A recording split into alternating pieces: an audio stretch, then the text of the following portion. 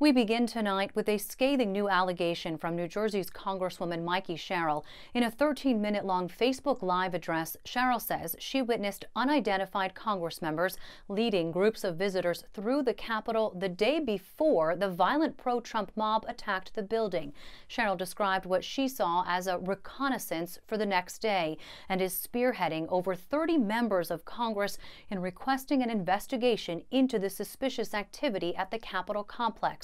It may have enabled the attack that led to five deaths.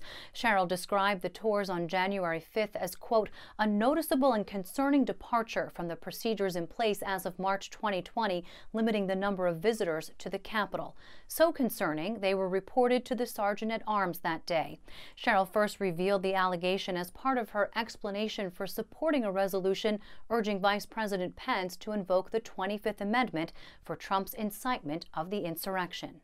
So not only do I intend to see that the president is removed and never runs for office again and doesn't have access to classified material, I also intend to see that those members of Congress who embedded him, those members of Congress who had groups coming through the Capitol that I saw on January 5th, a reconnaissance for the next day, those members of Congress that incited this violent crowd, those members of Congress that attempted to help our president undermine our democracy.